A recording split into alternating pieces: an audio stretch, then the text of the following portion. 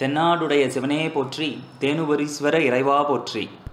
ஆலயம் செல்வீர் சார்பாக அனைவருக்கும் வணக்கம். இன்றைக்கி நம்ம பார்க்க போகிற கோயில் ஆயிரம் வருடங்களுக்கு முன்னால் கட்டப்பட்ட சென்னையில் உள்ள மாடம்பாக்கத்தில் இருக்கக்கூடிய ஒரு புகழ்பெற்ற சிவன் கோயில். இந்த கோயில் பார்த்திங்கன்னா அருணகிரிநாதரால் பாடப்பெற்ற திருத்தலம். இந்த கோயிலை பற்றின பெருமைகளை அந்த கோயிலில் இருக்க ராஜாமணி குருக்கள் அவர்கள் மிக விரிவாக ஒரு விளக்கவரை கொடுத்துருக்காரு. ஸோ இந்த வீடியோவை ஃபுல்லாக பாருங்கள் இதோட ஸ்தல வரலாறை அவர் வாயாலேயே நீங்கள் கேட்கலாம். பார்த்து முழுசாக பார்த்ததுக்கப்புறம் எங்கள் வீடியோவை லைக் பண்ணுங்கள் ஷேர் பண்ணுங்கள் இது வரைக்கும் நம்ம சேனலை நீங்கள் சப்ஸ்கிரைப் பண்ணலைன்னா சப்ஸ்கிரைப் பண்ணுங்கள் குருக்கள் பேசி முடித்ததுக்கப்புறம் இந்த கோயிலோட வரலாறையும் இதில் இருக்க சிற்பங்களை பற்றியும் இந்த கோயிலுக்கு எப்படி போகிறதுன்றதை பற்றியும் இந்த கோயிலோட சிறப்புகள் பற்றியும் நான் உங்களுக்கு விரிவாக சொல்கிறேன் இப்போ நாம் குருக்கள் சொல்கிற ஸ்தல வரலாறை கேட்போம். என்னாடுடைய சிவனே போற்றி எந்நாட்டவர்க்கும் விரிவா போற்றி எகம்பத்துறையந்தாய் போற்றி பாகம் பெண்ணிருவானாய் போற்றி காவாய் கனகத்திரிடே போற்றி திருக்கை மலையானே போற்றி போற்றி. மாடம்பாக்கம் என்று அழைக்கக்கூடிய இந்த ஸ்தலத்தினுடைய பேர். இந்த ஸ்தலத்தில் தேனிகாம்பாள் தேனபுரீஸ்வரன் உடனுரை தேனுபுரீஸ்வர திருக்கோவில் ஆனது இங்கு அமைந்திருக்கிறது. இந்த திருக்கோவிலினுடைய வரலாற்று ஏன் எப்- எப்படி இந்த கோவில் தோன்றப்பட்டது என்று நம்ம பார்க்க போனோமானால் பல லட்ச வருடங்களுக்கு முன்னாடி சுவாமி எந்த ரூபத்தில் எங்கே இருந்தார்னு யாருக்கும் தெரியாது. நமக்கு தெரியப்பட்ட காலம் வந்து இரண்டாம் ராஜ சோழனுடைய காலகட்டம். அவர் வந்து இங்க சுவாமி வந்து அசிரீர் வாக்கு சொல்லி இரண்டாம் பரந்த சோழனுக்கு அசிரீர் வாக்காக சொல்லி தேனுபுரீஸ்வரர் கோவில் தேனிகாம்பாள் சமேத தேனுபுரீஷத்து கோவில் திருக்கோவில் அமைக்கப்பட்டது.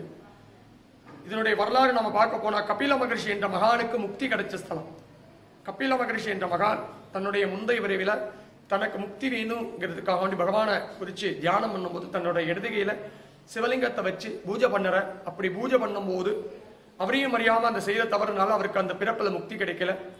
பகவான்கிட்ட திரும்ப அதை விற்பி கேட்கும் போது சுவாமியானவர் சொல்கிற ஆசிரியர் வாக்காக இடதுகளை சிவலிங்கத்தை தொட்டதனால பரபிரம்மத்தோடு நினைந்து நினைக்கும் போது எனக்கு இடதுகை வலதுகையும் தெரியாமல் என்னையும் அறியாமல் செய்து தவறாக மன்னித்து எனக்கு அருள் புரியணும் கேட்கிறார். அப்படி அவர் சொல்லும்போது இல்லை மீண்டும் ஒரு பிறப்பு இருக்கிறது. அப்படிங்கும்போது மறு ஜென்மம் அதாவது சாப விமோச்சனம் என்று சொல்லக்கூடிய மறு ஜென்மம் இன்னொரு ஜென்மம் இருக்கிறதுனே மீண்டும் பிறவா நிலைமையை கேட்கும்போது எனக்கு இன்னொரு ஜென்மத்தை கொடுக்கிறீ பகவானையும் கேட்கும்போது உயர்ந்த பிறப்பாக மனிதனுக்கும் ஒரு உயர்ந்த பிறப்பாக இருக்கக்கூடிய காளையோ பசுவாகவோ பிறக்கிறது. அந்த பசு ரூபத்தில் அதுலேயும் உயர்ந்த ஜாதி பசுவாக காரா பசுவாக சுவாமி இங்கே அவதாரம் பண்ணி சிறிய ஏரி ஜலத்தில் சுவாமி இருக்கிற இடத்துல கண்டுகொண்டு பகவானுக்கு நித்தியப்படி பால் சொரிஞ்சு அபிஷேக கைங்கரியம் பண்ணும்போது யாதவன் ஒரு நாள் பசுவை மேய்க்கிற யாதவன் அந்த பசுவானது ஜலத்தில் வீணடிக்கிறது கண்ணுக்கு கோபம் வந்த யாதவன் தன்னுடைய பிறந்தநாள் அதனோட மடுதல் அடிக்கும் போது வலி தாங்க முடியாம தன்னோட பின்னங்காலால சுவாமியோட சிரசில் எட்டி உதைச்சிடுது அப்படி எட்டி உதைச்சதுனால ஏற்பட்ட அடையாளம் இன்னும் இருக்கிறது சுவாமியோட சிரசில். தான் கோவந்த யாதும் கல்லெடுத்து சீ போன் சொல்லும் போது கவர்தலால் கல்லானது சுவாமியோட நெற்றியில பட்டு நெற்றியானது விண்ணப்பட்டு போய் ரத்த பிரவாரத்தை உண்டு பண்ணி தான் எங்க இருக்கிறது தெரியப்படுத்துறார் ரத்தத்தை பார்த்த யாதவன் மூர்ச்சையாய் விழுந்துறான் மூர்ச்சி தெரிஞ்சு ஊர் மக்கள் அழைச்சின்னு வந்து பார்க்கும்போது பசுரூபமானது அங்க இல்ல. அப்ப என்ன நடந்ததுங்கன்னு யாருக்கும் தெரியலங்கிற ரத்தமா இருக்கும்போது சுவாமி கபில மகள் தன் சுயரூபத்துல வந்து நடந்த விவரத்தை சொல்லி சுவாமி இருக்கிற இடத்த காட்டி கொடுக்கிற சுவாமி சிறிய ஏரி ஜலத்திலிருந்து உருவானதுனால சிற்றேரி நாயனார் என்று சொல்ல அழைக்கக்கூடியவர் இரண்டாம் ராஜ சோழன் உலகிய வந்த இரண்டாம் ராஜ சோழன். அந்த சோழனுடைய கனவுல சுவாமி அசிரியர் வாக்கு சொல்லி கஜபிருஷ்ட அமைப்பில் கட்டப்பட்ட திருக்கோவில். சுவாமிக்கு பீடம் அமைக்கும் போது பகவான் அவருக்கு ஜோதி சுரூபமாக காட்சி கொடுக்கிறார் நாம தரிசனம் பண்ணக்கூடிய சுவாமி நம்மளோட மூணு விரட்கடை அகலமாகவும் ஒரு அரஜான் உயரத்துக்கு மேலாகவும் தான் இருப்பார் நம்ம கண்ணுக்கு பூமிக்கடியில் எவ்வளவு தூரம் வியாபிச்சிருக்கான்னு தெரியாது. நம்ம நின்று சுவாமி தரிசனம் பண்றது முதல் தலம் மடவிழாகம் என்று சொல்லி அழைக்கக்கூடிய திருக்கோவிலா அமைக்கப்பட்டிருக்கிறது. பாண்டியர்கள் காலகட்டத்தில் அம்பாளுடைய சன்னதி கட்டப்பட்டதே போது ஆளுடை நாயனார் தம்பிராட்டி அம்மை என்று சொல்லு பேர் மறுவப்பட்டது.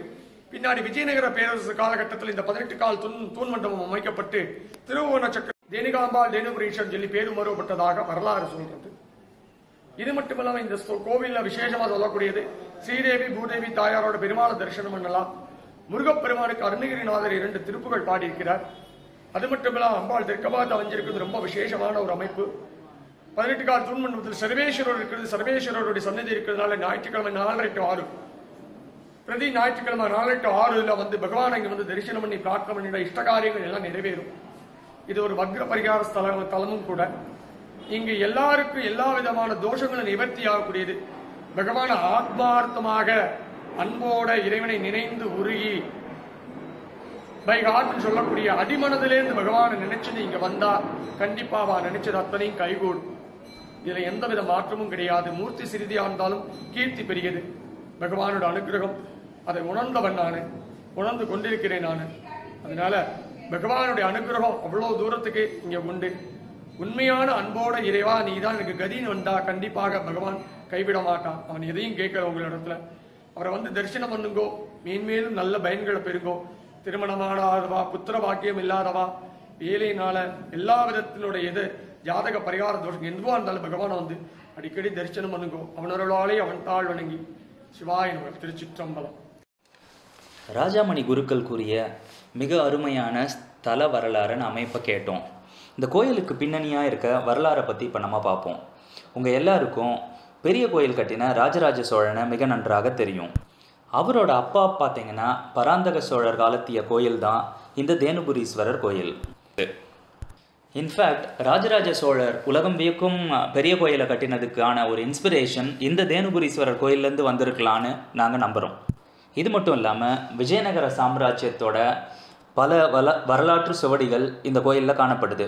ஸோ இதை வச்சு பார்க்கும்போது நம்ம நினைக்கிறோம் ஆயிரம் வருஷம் ஓல்டான கோயில் இந்த கோயில்னு. ஆனால் இங்கே இருக்கிறவங்க கிட்ட பேசினா இந்த கோயில் அதுக்கும் முந்தைய காலத்தை தான் இருக்கலாம்னு சொல்கிறாங்க இப்போ இந்த கோயிலுக்குள்ளே என்னெல்லாம் இருக்குன்றதை பற்றி நான் உங்களுக்கு சொல்ல போகிறேன் கோயில் என்ட்ரன்ஸ்லேயே பார்த்தீங்கன்னா நீங்கள் உள்ளே நுழையிறதுக்கு முன்னாடி ஒரு அழகிய குளம் இருக்குது நீங்கள் அந்த குளத்தை பார்த்தீங்கன்னா சென்னைக்குள்ளே இப்படி வளம் மிக்க ஒரு அழகான குளம் இருக்கும்னு யாராலையுமே நம்ப முடியாதுங்க. அவ்வளோ ஒரு சூப்பர்பாக ஃபுல் க்ரீனரியோட ஒரு அழகான குளம் இருக்குது அதை பார்க்கறதுக்காகவே நம்ம இந்த கோயிலுக்கு போகணுன்ற அளவுக்கு அந்த குளம் இருக்கிறது. இந்த குளத்தை மீறி நம்ம கோயிலுக்குள்ளே நுழைஞ்சதுக்கு அப்புறம் நம்ம உள் பிரகாரத்துக்கு போகிறதுக்கு முன்னாடி இருக்க பல தூண்களில் மிக அழகிய சிற்பங்கள் இருக்குது அந்த சிற்பங்கள்லையும் பர்டிகுலராக பார்த்தீங்கன்னா நரசிம்ம அவதாரம் இருக்கிறது. ராமானுஜரோட சிற்பம் இருக்கிறது காளியோட சிற்பம் இருக்கிறது. இதை பற்றியெல்லாம் இங்கே இருக்கிறவங்க ரொம்ப பெருமையாக பேசுகிறாங்க நீங்கள் போனீங்கன்னா மறக்காமல் இந்த சிற்பங்களை ஆராய்ஞ்சு பாருங்கள் வெளிப்பிரகாரத்தில் பிரகாரத்துலேயும் மிக அழகிய வேலைப்பாடுகள் கொண்ட சிற்பங்கள் நிறைய காணப்படுது. கோயிலுக்குள்ளே போனீங்கன்னா நாங்கள் போன நேரத்தில் மிக அழகாக நாதஸ்வரம் எங்கள் காதுகளில் இனிதே விழுந்தது. என்னன்னு கிட்ட போய் பார்த்தோன்னா அங்கே ஒருத்தர் வாசிச்சுட்டு இருந்தார். இந்த வீடியோவோட முடிவில் நாங்கள் அதையும் உங்களுக்காக பதிவு செஞ்சுருக்கோம். கேட்டு ரசிங்க. இந்த கோயிலுக்குள்ளே போனோன்னா ஆட்டோமேட்டிக்காக நம்ம மனசுக்குள்ளே ஒரு மிகப்பெரிய அமைதி வர்றதை நீங்கள் பார்ப்பீங்க இன்னொன்று கோயில் சாமியை கும்பிட்டு நீங்கள் வெளியே வந்து அம்பாள் தரிசனம் முடித்த உடனே உட்கார்ற இடத்துல உட்காந்திங்கன்னா எனக்கு தெரிஞ்சு இந்த கோயிலில் கண்டிப்பாக ஏதோ ஒரு அமைதிக்குரிய மேக்னெட்டிக் பவர்ஸ் இருக்குது நீங்கள் அதை போனால் தான் அனுபவிக்க முடியும். ஸோ உங்கள் குடும்பத்தோட இந்த கோயிலுக்கு கண்டிப்பாக போய் பாருங்கள் நாங்கள் இந்த கோயிலுக்கு எப்படி போகணுன்ற கூகுள் கோஆர்டினேட்ஸையும் இந்த வீடியோக்கு கீழே இருக்க டிஸ்கிரிப்ஷனில் கொடுத்துருக்கோம். அதை பார்த்துக்கோங்க. ஏன்னா இந்த கோயிலில் புதுசாக போகிறவங்க கண்டுபிடிக்கிறது கொஞ்சம் சிரமமாக தான் இருக்கும். இப்படிப்பட்ட ஒரு மிக பழமையான கோயிலை பற்றி உங்ககிட்ட பதிவு செஞ்சதில் எங்களுக்கு ரொம்ப சந்தோஷம். நீங்கள் நாங்கள் இன்னும் எவ்வளோ கடினமாக உழைக்கணும் வேறு என்னெல்லாம் நாங்கள் உங்களுக்கு ஷேர் பண்ணோன்றதை பற்றி எங்களுக்கு கமெண்ட்ஸாக போடுங்க. நாங்கள் அதை நோக்கி பயணிப்போம். அது மட்டும் இல்லாமல் உங்கள் ஊரில் இப்படிப்பட்ட ஒரு பழமையான கோயில் ஏதாவது இருந்தது? அதை நம்ம உலகத்துக்கு எடுத்துகிட்டு போய் சொல்லணும்னு நீங்கள் நினச்சிங்கன்னா என்னோடய வீடியோ கீழே இருக்க டிஸ்கிரிப்ஷனில் உங்களுக்கு ஒரு இமெயில் ஐடி கொடுத்துருக்கோம். அந்த இமெயில் ஐடிக்கு நீங்கள் ஒரு ரெக்வஸ்ட் அனுப்புங்க. நாங்கள் உங்களை கூப்பிட்டு நாங்கள் பேசுவோம். அதுக்கப்புறம் பார்த்தீங்கன்னா அந்த கோயிலை பற்றின டீட்டெயில்ஸை நம்ம கட்டாயம் பதிவில் செய்வோம். வேற்றாகி விண்ணாகி நின்றாய் போற்றி. மீளாமே ஆளென்னை கொண்டாய் போற்றி. தன்னாடுடைய சிவனையை போற்றி. எந்நாட்டவர்க்கும் இறைவா போற்றி. இந்த பதிவை கேட்டவங்க எல்லாருக்கும் மிக்க நன்றி.